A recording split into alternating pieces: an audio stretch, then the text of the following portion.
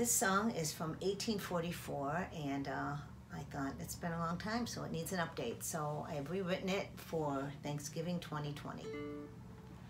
Down the stairs and through the kitchen to the dining room we go. The table is set, the no guests we will get will be all alone, you know. Down the stairs and through the kitchen, at home we will stay. Won't go for a jog or be near a mob on this COVID Thanksgiving Day.